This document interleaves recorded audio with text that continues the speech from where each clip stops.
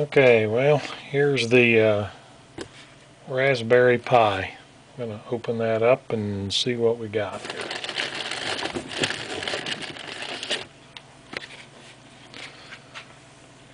Here's the box it comes in. Um, wow, it's pretty small.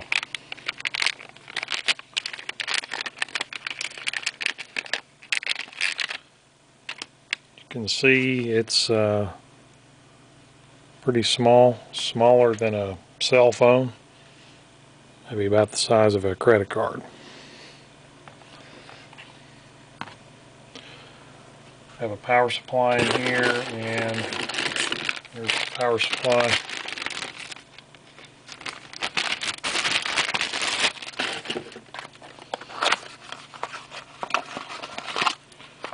Just a small regulated wall wart with a micro USB connector. That's the right connector for the Raspberry Pi. Also have a cheap uh, keyboard and mouse here which I'll uh, get to in a minute.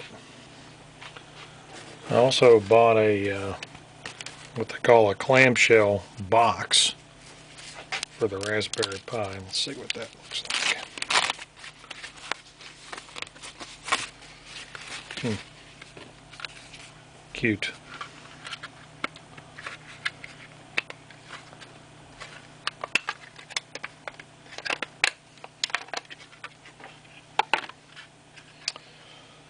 Well, not sure how this works. I guess it just uh, goes in there like that.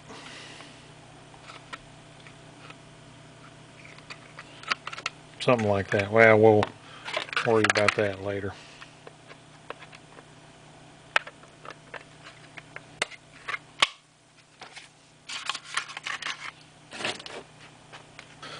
I also uh, cheated, sort of took the easy way out, bought a pre-formatted SD card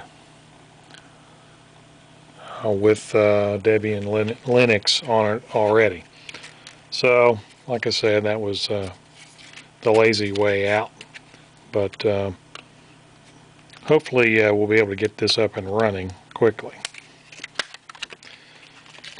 And that SD card goes in the socket on the bottom like that. And that should be it. So we'll uh, get the keyboard and display and everything hooked up see what happens. Okay here's our six dollar mouse and uh, $7 keyboard. So hopefully that will work. And we'll, we also have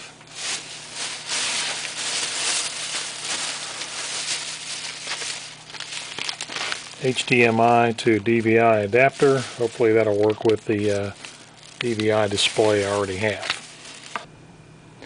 Well, it's powered on mouse is alive and the display works. How about that? So I'm going to go through some configurations and uh, try to get the uh, the GUI running. That's uh, pretty cool.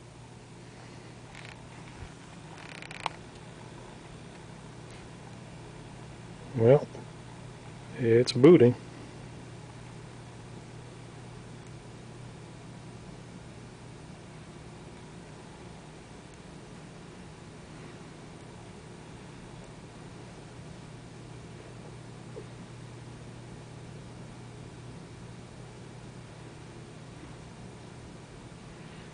Booting. And there's the login prompt. How about that? Okay, there's the uh, login. We'll uh, start uh, X Windows. Whoops. Got type it right.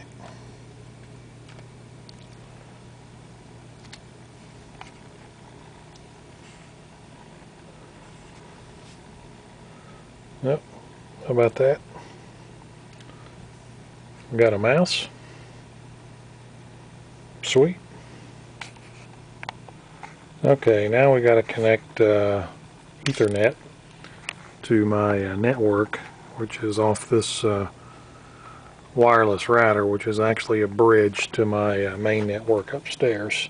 So we'll do that and see what happens. And still running.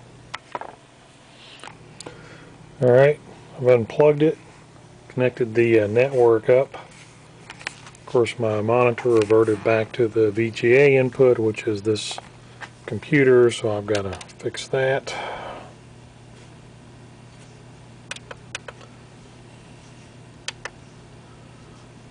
Set it to DVI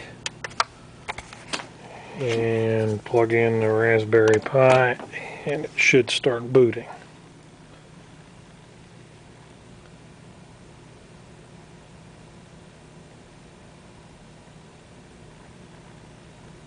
Something's happened. Oh, there it goes. I've got uh, some more lights on now, Ethernet lights.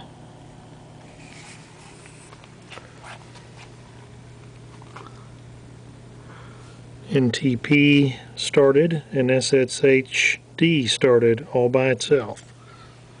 Nice. Oops, wrong keyboard.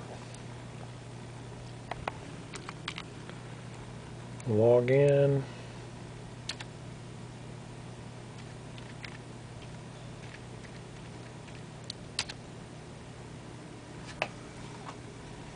Start X.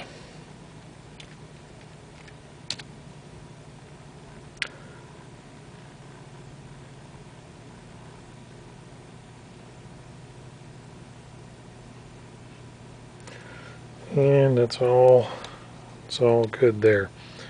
Now one thing you got to remember is you don't want to just pull the power on this thing. It is a Linux file system and that's not good. It might corrupt it. So before you pull the power, you always want to do a shutdown. There's a couple of ways to do that. You can do it right here. Log out. Okay, and then sudo, oh, keep using the wrong keyboard, sudo. Halt, that's the quickest way to do it. Wait for it to shut down.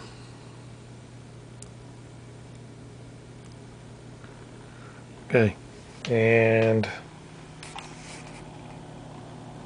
the activity light is off and the DVI is turned off and that's reverted back to the VGA on the other computer.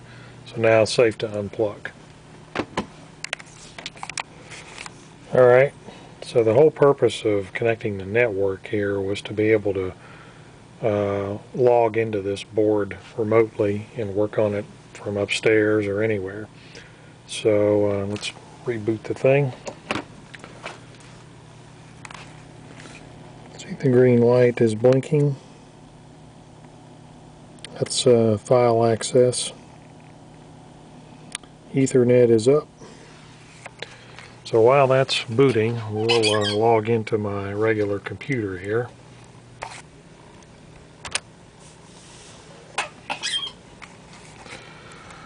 Okay, get a terminal window open.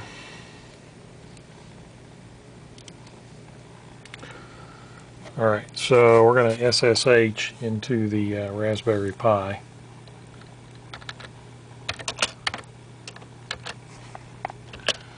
And the user is pi at,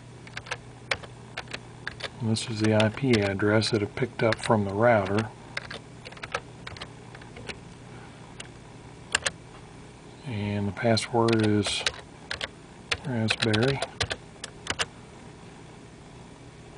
And we are logged in to the Raspberry Pi and it's got the right time and date that's pretty cool logged into that see what's in the home directory not a whole lot let's uh, try the C compiler. We'll write a quick, uh, simple C program. Oops.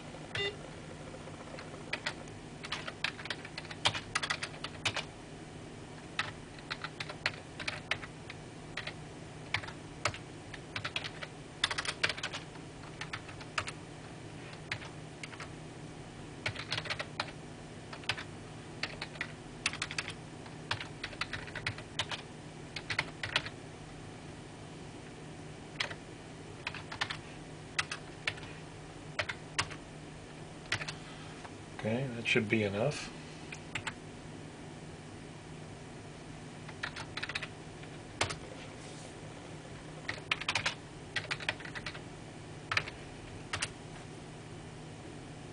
No errors.